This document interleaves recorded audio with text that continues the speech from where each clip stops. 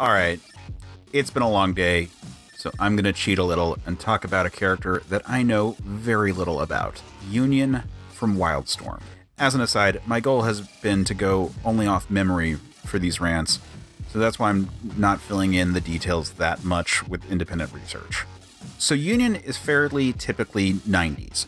He's very Superman esque in terms of powers and origin, with the primary twist being that his powers are tied to his energy staff, so kind of like Thor or Green Lantern, which I guess gives him a viable weakness to capitalize on when writing.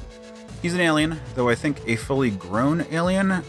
There were a lot of alien soldier traveled to Earth to carry on their war stories in the 90s, and in Wildstorm in particular. Obviously, given the wild part of that company line is a reference to one of their flagships, Wild Cats, which was about an alien war. So I guess he's also a little like Hawkman too.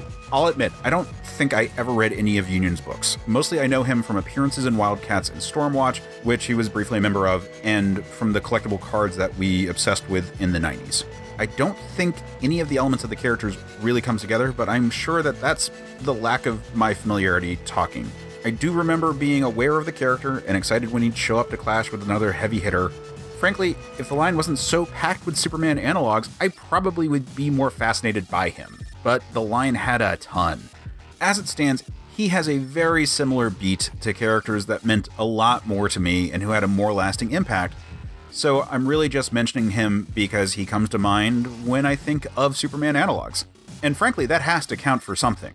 If there are any Union fans out there, I'd love to hear an impassioned plea for the character. I'm generally very pro Superman types, shockingly, and would love to hear more about the character, specifically why he meant something to you.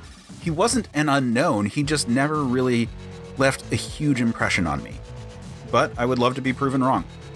Oh, I do want to shout out user at Dark Angel on Twitter, who commented on my thread after I had already done the recording for this providing a bit more information on Union, and their Pinterest board actually ended up being a huge resource for me in identifying pictures and artists. So thanks for that. And also, obviously, the character means a lot to them and to a lot of fans, and I apologize if anyone feels that I'm not giving it proper due. These posts are intentionally pulled just from memory with limited research, and I just didn't really know that much about the character back in the day.